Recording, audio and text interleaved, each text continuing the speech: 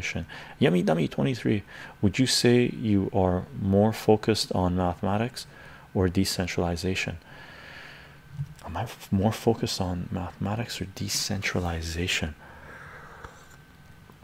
I have probably, I don't know how many videos we've got.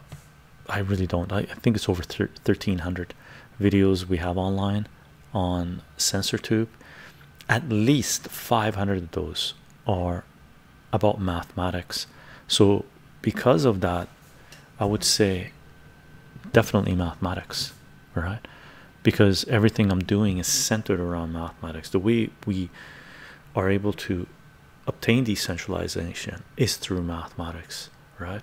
The way we get anonymity and privacy is through mathematics, right? The way we get equitable, if you want to use that word, commerce, trade, barter, right? Business is through mathematics. Uh, the way we understand the world around us, maybe geopolitics or local politics, is through mathematics. So, mathematics is a foundation of what I'm doing. So, definitely mathematics,